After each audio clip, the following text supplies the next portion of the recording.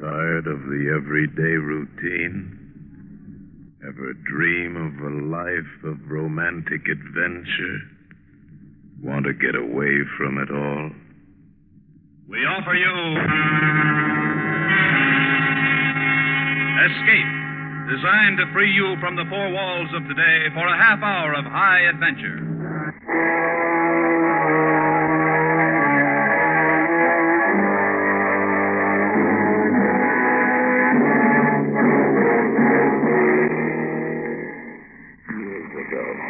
In his science fiction classic, Green Splotches.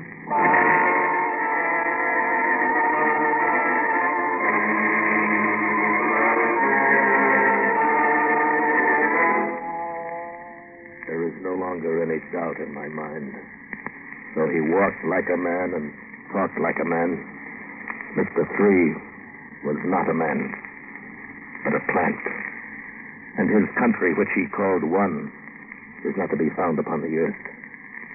It is the only possible conclusion to make after what happened to us in the valley of the Infernal River.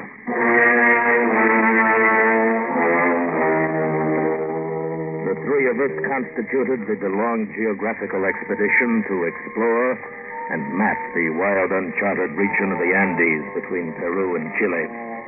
There was our leader, Professor Anton Demetrius, once of the University of Bucharest, and now one of America's most distinguished adopted scientists. In the valley of the Rio Infernillo, we should find some very significant geological evidence which may well change our present conception of the age of our planet. There was young Leroy Haskell, the secretary of the expedition. Phi Beta Kappa, PhD, and as far as I was concerned, a scientific camp follower. He had written a book. The material I shall gather on this junket will make a book that should simply dwarf the success of my reindeer in Iceland. And you know how well received it was. Then, of course, there was me, John Preston. My job was to survey the region and map it for the first time. There were two native guides, Jose and Pablo. We had been warned from the first. Everyone told us to stay away from the valley of the Infernal River, from which they all said no traveler has ever returned. But we were not to be dissuaded from our purpose. So after a week on the high mountain trails, we came at last to the entrance of the valley.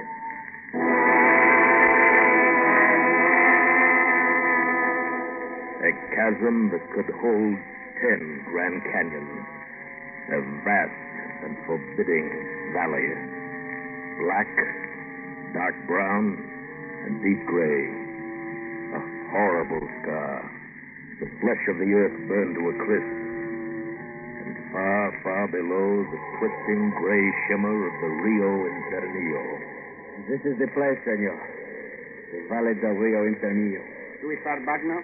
We'll spend the next 60 days in this valley. Was no trail. The mules and pack llamas picked their way between boulders ranging in size from a man's head to his house. Jose led the party, rifle at ready, alert for the slightest danger. The way was steep, pitching us forward against the pommels of our saddles, jostling and jouncing us. It would not be exact to say that I was frightened by this forbidding valley of desolation, but I was depressed by it as I rode along.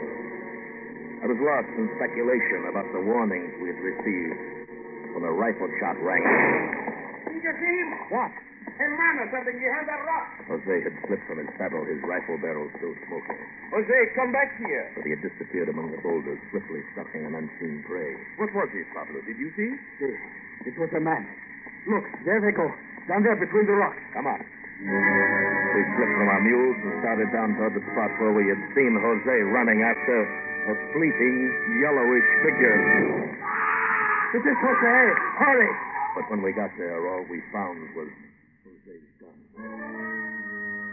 That was all, except a splotch of green liquid on the stone, and smaller splotches of green splashed on one boulder after another, leading off toward the river.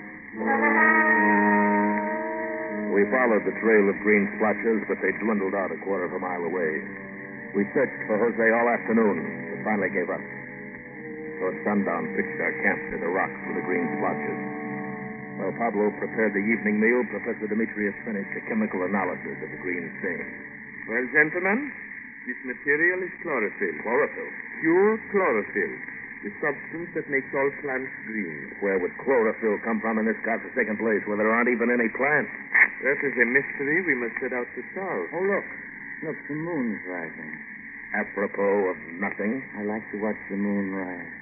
I find it a source of inspiration. Source of inspiration. Sometimes that knuckle-headed secretary was more than I could bear. In the midst of the riddle of the chlorophyll, he seeks the inspiration of the rising moon. Nevertheless, a moment later, the professor and I also stepped out of the tent into the crisp evening air. Far down at the eastern end of the valley, the disk of the rising moon glimmered between two towering peaks. It looks whiter and more silvery in this latitude. She wears a cloud of mist like the veil of a bride. Does he now? Look here, Preston, just because you like the gift of imagery is no reason but... My God. Look! Hmm? The moon, the new moon, setting in the west. He was right. Low in the luminescent western sky was the thin, delicate crescent of the new moon. And to the east, the full moon, which we'd been watching, had disappeared. A phosphorescent mist still hung about the peak. And as we watched, it slowly faded away and left the valley of the infernal river in deepest blackness. It was more than my mind could cope with. But it didn't bother our bright young man. Next evening, Leroy had a curious report for us. Well, I sold a copy of my book today, Reindeer and What? Yes, I got this for it. Gold. Nuggets of gold. Yes, that's right. Who did you sell it to? Yes, what sucker gave you all that gold? An Indian. An Indian. What happened? Well, I was down the valley way today gathering specimens of flora, and I just sat down to eat my lunch when I saw this Indian behind a rock staring at me. Then he saw the corner of the book sticking out from my knapsack. He pointed at it, and he said, What is that, reindeer in Iceland? Well, I was surprised. And then he said just what I had been thinking. That book has a wider reputation than you imagine. I thought it'd be quite a gag to sell one of my books to a Peruvian Indian, so I went into a long spiel about what a really fine and useful book it is. That shouldn't have been difficult for you. It wasn't. I ended by telling him that he could have this valuable and excellent example of American literature for only three dollars and a half. What is three dollars and a half? He said. Have I got three dollars and a half? I was just wondering about that, I said. Now turn your pocket inside out and you'll see. He did. And a lot of pieces of metal spread on the ground. I took the gold nuggets and told him I'd include the other four copies I brought along. He's dropping back more for them. That's nice. Well, I think I'll turn in. Been quite a day. Yes, hasn't it? If I brought more copies of my book, I could clean up down here. Next morning, I was awakened by the sound of groaning coming from Haskell's cot. What I saw there awakened me with a start and yanked me to my feet. Professor, Professor Demetrius. Eh? oh, Professor. John, what's the matter? Come here quickly, please. Something's wrong with Leroy. Eh? What is it? Look. Ah, is that Leroy? Yes, Why, his hair is turned white. overnight. Well, uh, what in the world happened to him? I don't know. Here, Leroy. Come on, old boy, wake up. I, Come on, Leroy, wake up. I, Come on, fellow, wake up. Come on. What, what's the matter? Now, how do you feel? uh, you hurt anywhere? Oh, my head aches my leg burns. Where? Right here. Let me see. Here, here on my side. Oh, that's a pretty nasty inflammation. More like a third degree burn. Right under your trousers pocket. Uh, Leroy, Yes. did you carry that gold in this pocket yesterday? Why, why, yes. And where was it last night? I put it under my pillow for safekeeping. Yes, and that accounts for it. That gold is poisoned in some way. Poison. What? Oh, no. What's the matter? Here. Here in the mirror. Is that me? Preston, did that stuff turn my hair white? Tell me. Tell me. Yes, my boy, it did. Oh, no, no, no, it's no. Preston, look. Look, there he is. I looked up. Standing in the entrance of the tent was an Indian with an enormous head and thickly painted face. He was wearing the usual white shirt and trousers of the cholo, and he was smiling a faint, ironic smile which made me dislike him intensely. The professor was first to recover from the shock of his appearance. Uh, you, did you give our young man here some gold yesterday? I gave the young man some gold for some books. Did you know the gold was poison? Poison? How? Well, that's what we want you to tell us. I haven't any idea. What effect did it have? You can see for yourself. Uh, is this the same young man? Yes, you nearly killed him. Oh, how interesting.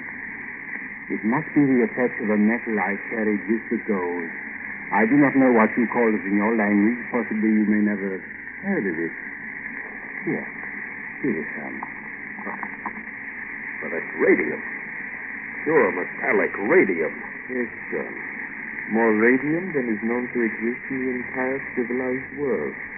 And carried around casually in the pocket of an Indian. But I was burned by the gold. That's right, but the gold had become irradiated by this piece of radium, which I might add is worth several million dollars. You made a bad deal, Leroy. You should have taken the radium and let the gold alone. I wish I'd given the book away.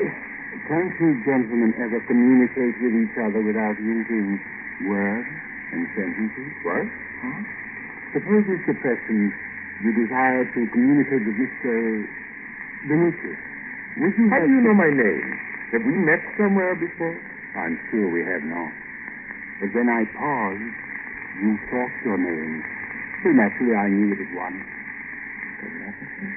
I believe that's the ancient word for it. Mr. Preston, I perceive that you want to know my name. Well, I have a number. In my country, the citizens are numbered.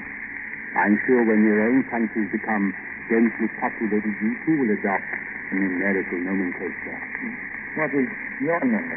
1752 dash 12,657,109 dash 654 dash. Hmm. That might become a little hard to remember. Where do you come from, Mr. Three? The name my country is One, or Turk. I dare say each of you comes from a country which you call One. No, I see I am wrong. America? Romania? Very pretty name, but quite unscientific. Uh, can you read our thoughts before we speak? Certainly.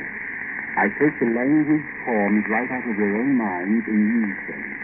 If the creature has no language at all, one can choose easy. Look out of the aluminum age, and that arose from the prehistoric steel age. A very heavy, clumsy metal, I have heard archaeologists say. Oh, breakfast, Pablo. Good, good. Uh, set it up on the table there. Sí, senor. Senor Preston, he is the one. What's that? That man there, he murdered Jose. What? Everything he has on is Jose. He wears Jose's clothes and his shoes. On his finger is Jose's silver ring. I know it. I saw him that day when Jose disappeared. Are you sure, Pablo? Sí, sí, ciertamente. Pablo is quite right, gentlemen. You admit that you killed Jose? Oh, yes. You realize, Mr. Three, that your confession will place you in jeopardy of the law. Oh, then you do have laws in your country. Why, naturally. Pablo, take that rope there and tie Mr. Three to that chair. Sí, senor. You may consider yourself under arrest, sir. Give Pablo a hand, Leroy.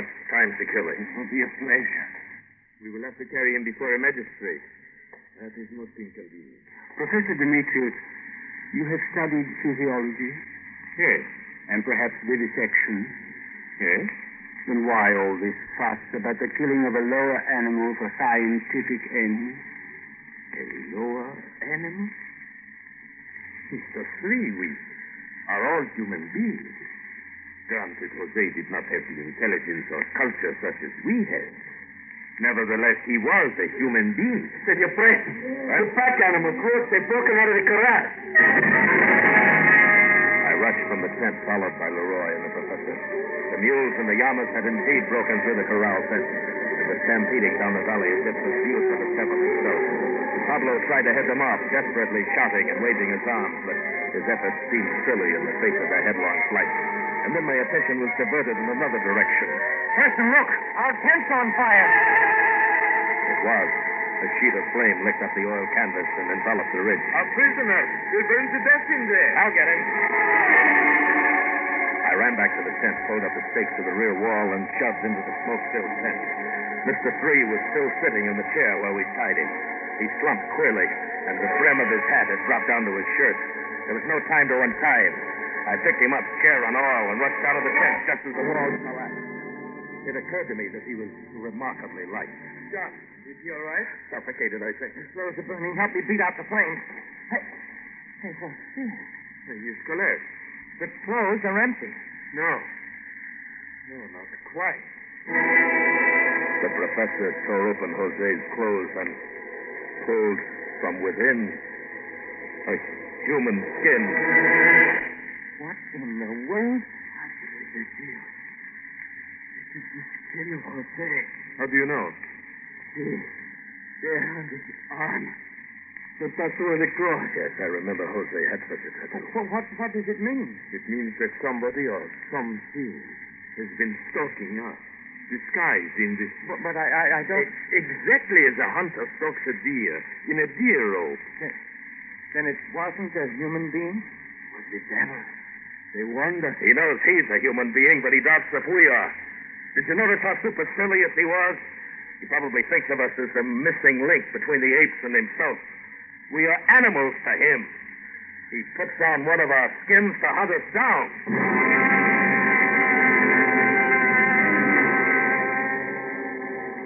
As we stood in the merciless sunshine in that black valley of hell, we were four frightened men, powerless to combat the kind of magic or witchcraft or super science which opposed it.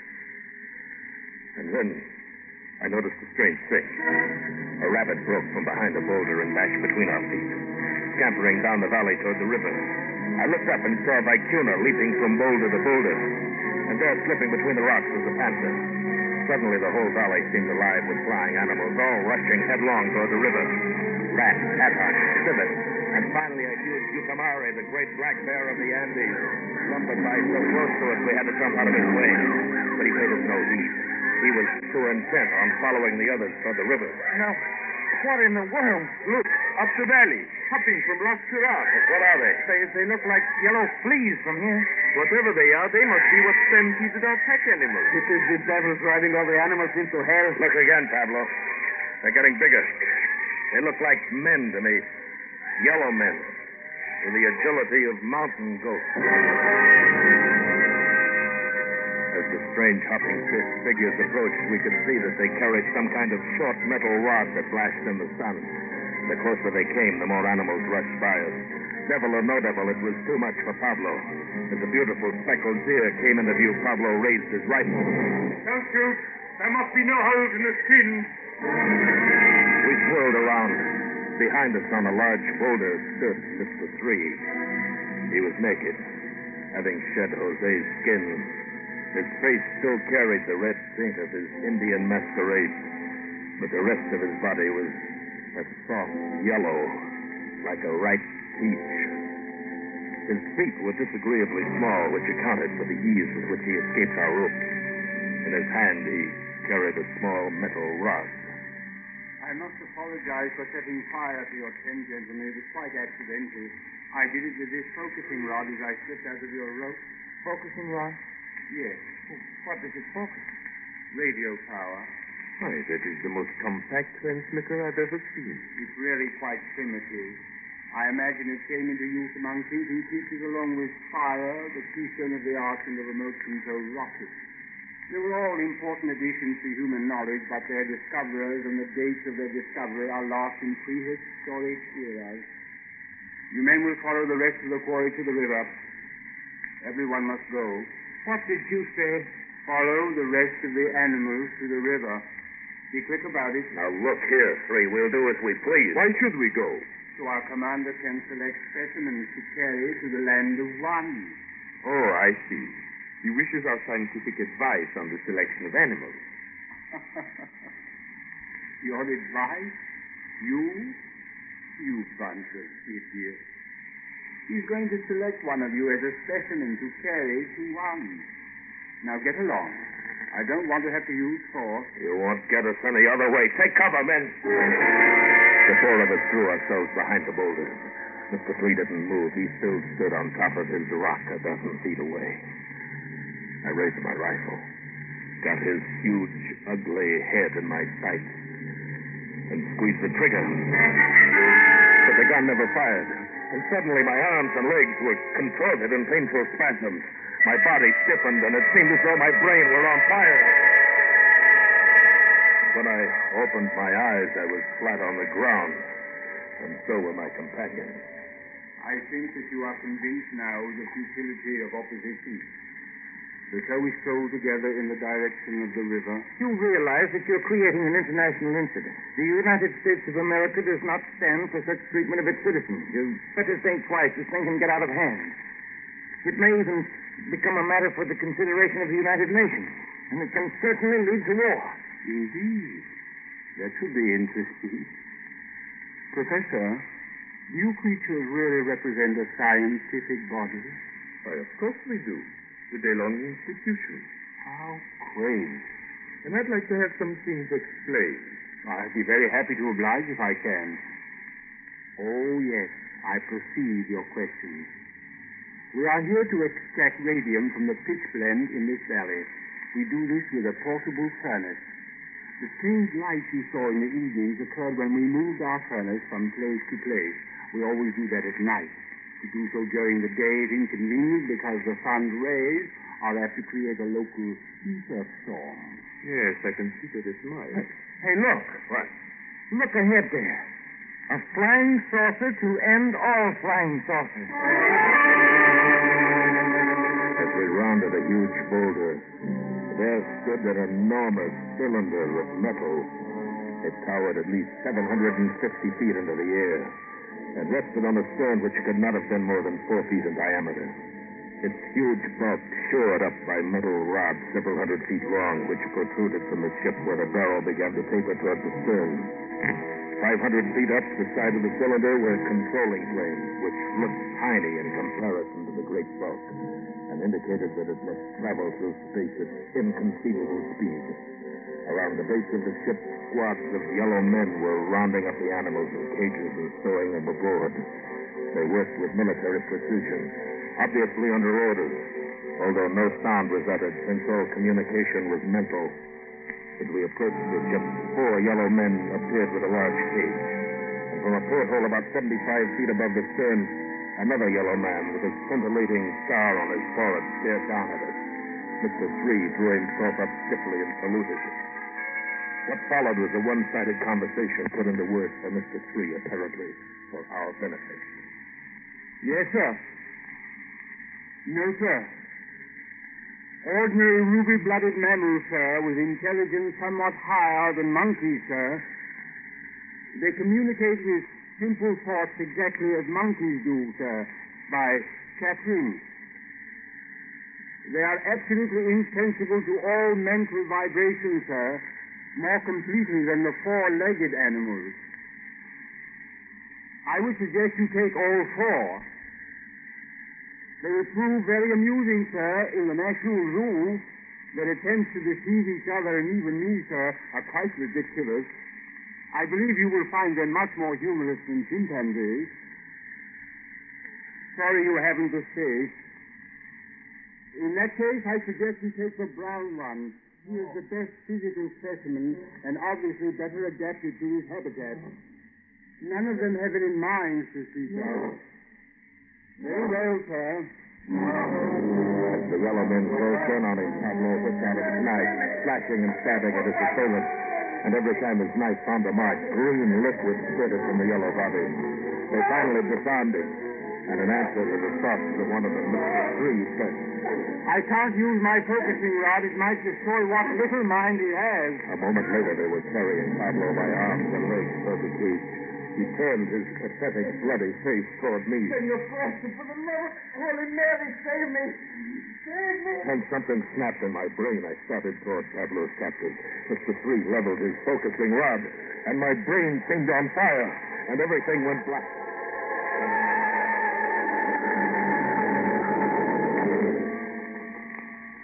Came to, The yellow men had vanished. The spaceship stood poised in the light of the setting sun, their ports and hatches closed. The professor and Leroy were leaning over me. John, are you all right, John? I guess so. That jolt he gave you must have been a nasty. I rather like the electric chair had. Where's it going? From the stern of the luminous gas seemed to boil out in whirls of furious brightness. The returning rods were tapped off, and the huge cylinder shot straight up through the air with a precision.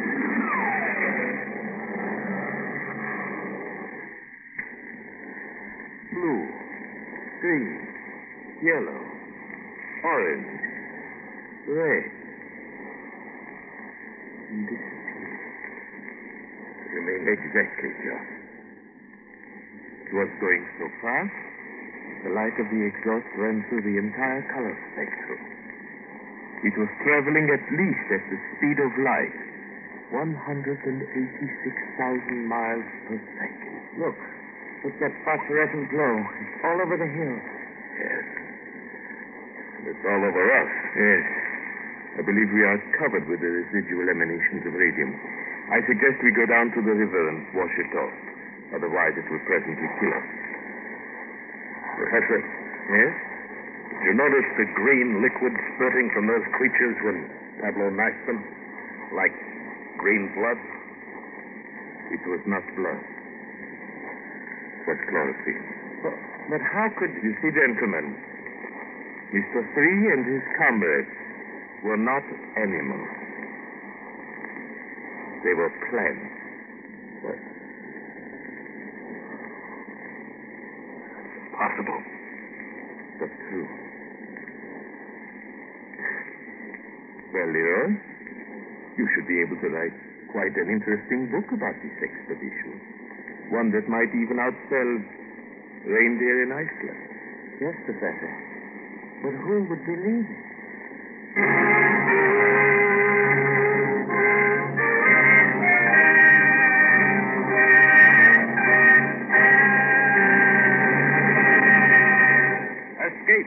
Produced and directed by William N. Robson. Tonight we have presented Green Splotches, written in 1920 by T.S. Stribling and modernized and adapted for radio by Mr. Robson. Featured in the cast were Bill Conrad as Preston and Paul Frees as Professor Demetrius. Also heard were Ted DeCorsia, Harry Bartell, Barton Yarborough, and Jay Novello. Special music was arranged and conducted by Del Castillo. You're trapped on a lost plateau in the shadowy depths of the Grand Canyon. At your feet lies a fortune in ancient gold, and beside you, holding a gun at your head, is a half crazed Indian from whom there is no escape. Next week, we escape with the story of a man who faced the murderous fanaticism of an ancient tribe to recover a fabulous treasure in golden relics, as Paul Pierce tells it in Grand Canyon Suite. Goodbye, then, until the same time next week, when once again we offer you Escape.